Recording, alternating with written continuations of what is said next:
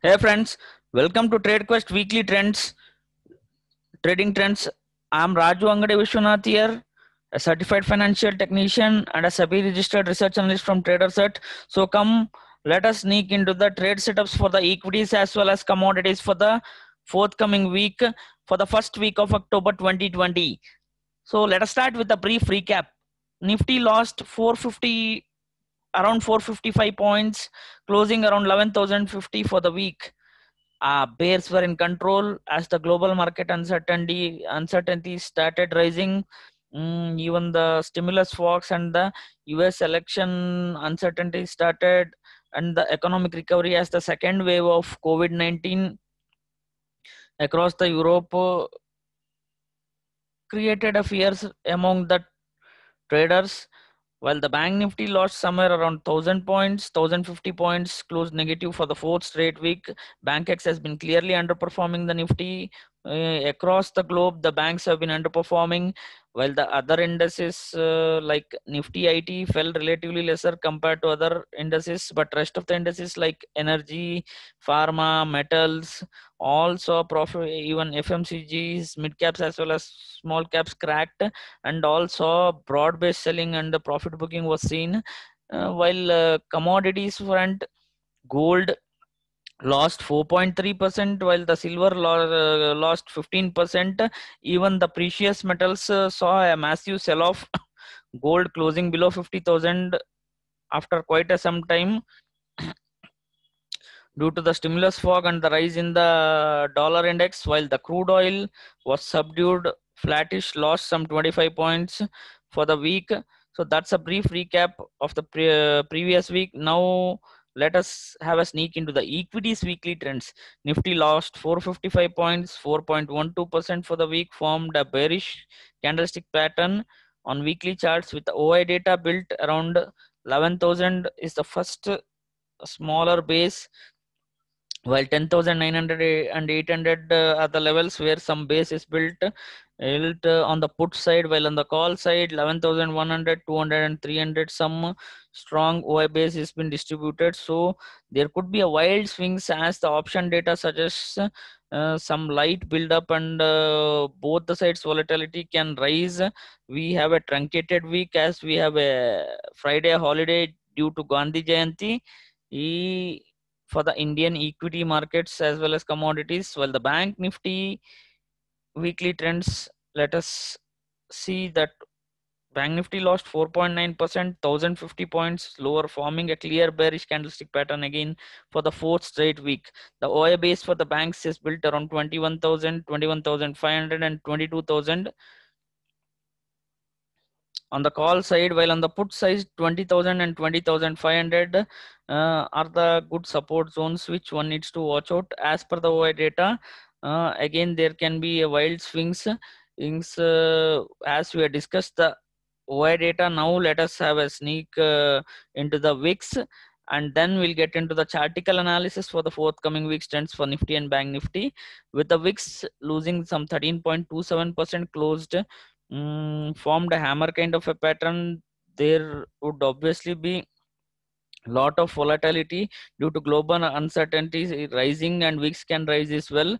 So the options price hint that the VIX uh, obviously is on the higher side and as the options are valued higher. So that's a brief on equities weekly trends. Now let us have a sneak into the equities forthcoming weeks trade setups for the weekly trends. Starting with the nifty chartical analysis nifty closed around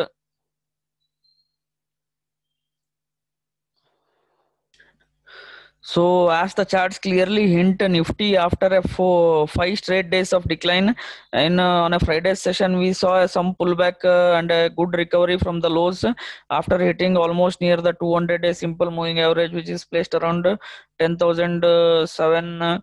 Mm, 62 so 800 zones so, so that levels were almost tested and we saw we are seeing a pullback from those levels. Now the major hurdle would be 11110 to 11135 140 levels. Else which is a 20 day moving uh, 50 day moving average and the 20 day moving average is placed around 11293 so these can be the hurdles which could act as a resistance. So 11,290 to 11,340 levels on the bones can be tested and uh, even that is the neckline uh, resistance for the H&S pattern 11,200. So oh, that level needs to be clearly washed out out uh, accordingly e and uh, trades needs to be established on the downside. 10953 e to 940 becomes important support. Once that is taken out we can head further towards uh, 10890 10000 uh, 811 levels and below that 10800 we can see 10560 and 10180 levels can be seen in the nifty which can trigger a further uh, sell off but uh, meanwhile there can be some consolidation. Mm, so one needs to identify mm, and act accordingly and objectively as the uncertainties rise is so this uh, week or two it would be clearly a range bound action. And uh, one needs to as of now the there is a lower top lower bottom as clearly confirmed. But for a very short term uh, traders can buy the dips until 10,940 or 10,900 or 800 levels have been held on which is a 200 day moving average. The because of the friday's bones any dips one can buy the dips uh, and uh, see where the exhaustion uh, comes in. Until then the trend remains to be short term by the dips dips uh, and positionally until 11350 to 400 is taken out out one can uh, go rises on a short on positional basis with 10,400 above as a stop loss. Uh, so that's clearly in between the range now. Uh, one can use the levels accordingly to establish the trade setups. Um, that's about the Nifty chartical analysis. Coming to the Bank Nifty chartical analysis, Bank Nifty has been clearly weaker uh, the downward levels to watch out for the bank axis 20200 to 20400 zones 450 zones which are the important uh, support zones. Below that we can see 19500 to 19600 levels. Else on the downside uh, still the trend remains to be weak in the banks. Banks, Some bones was seen in the Friday session. If that uh, holds to be true on a weekly basis, is and uh, both the weekly candles of the nifty and bank nifty has been clearly bearish but uh, but uh, clearly bank nifty is a sell on rises the short term resistance to watch out is 21374 and 20 1652 oh 21970 levels are the resistance zones which one needs to watch out. A decisive break about 22000 22 and would be some moment would gain some momentum while that is uh, quite unlikely. If uh, that crosses we can see 23000 23500 levels again back.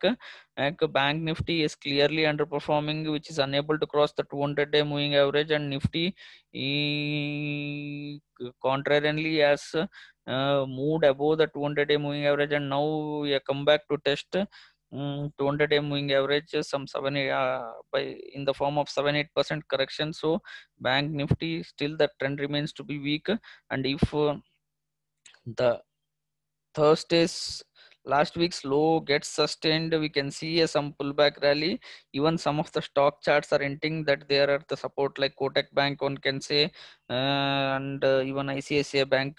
So those are clearly a contra bets. Kotak and icici bank 1205 to uh, 12 30 if decisively holds in Kotak Bank, we can see some bones of uh, 100 to 150 points of uh, 1350 to 1400. Positionally, though that level should be ideal selling opportunity for Kotak Bank as the targets for the bank uh, is around 1000 levels.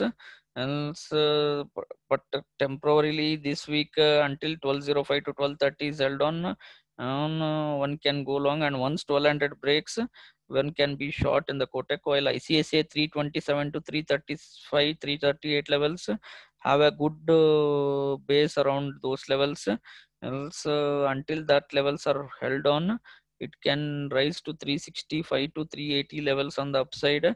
While the trending stocks to watch out are apollo hospitals which is clearly trending upwards while the, uh, the other stock which has gained momentum uh, with the news is idea and wipro is one of the other trending stocks. Uh, 280 to 290 is a good base for the stock. The stock can hit at 360 370 levels in the short term and positional targets could be somewhere around 450 the shorts are seen some selective stocks like bharti airtel. Uh, titan on rises would be ideal. Sell around uh, 11 uh, 50 to 1180 levels would be ideal selling opportunity. Correct currently trading around 1110 well the bajaj finance is one of the other stocks which uh, we are seeing some uh, bears getting added. So that's a brief on the stock watch. It's better to avoid the stocks uh, and trade objectively with the indices uh, for the week or two.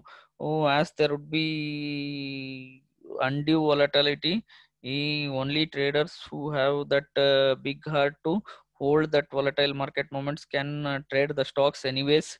So that's a brief. Now there is a small ad before getting into the commodities. Hey guys do you like to become a master day trader? And learn in simple five steps how one can become a professional trader kickstart your journey to become a master day trader. Grab your first free video on traderset.com slash opt-in. Learn earn and prosper. To become a master day trader and know more details about the master day trader workshop visit traderset.com slash master day trader workshop. A link which is shown below. So that's a brief ad for any queries. Obviously you can contact me on 78291 or uh, you can mail me on traders at, at gmail.com so that's it.